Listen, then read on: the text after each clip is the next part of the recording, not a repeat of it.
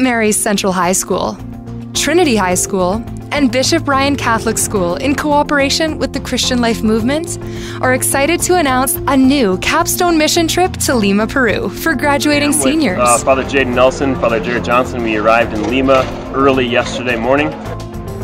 Our mission trip objectives are to provide students with an experience that integrates the principles of Catholic theology, anthropology, and social teaching through a missionary endeavor to serve the poor in Peru.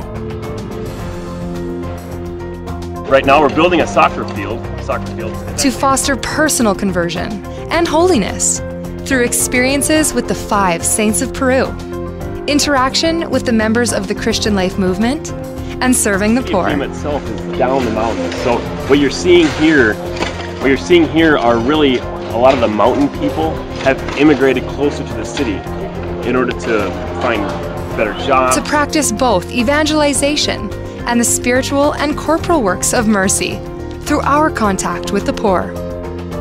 To increase solidarity among our Catholic schools through sharing in a common mission.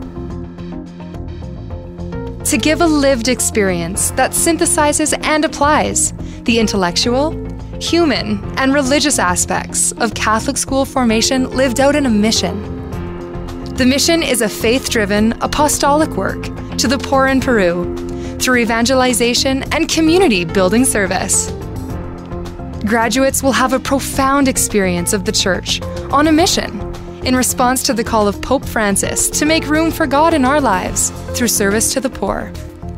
Because when there is no longer room for others, no place for the poor, God's voice is no longer heard. Pope Francis.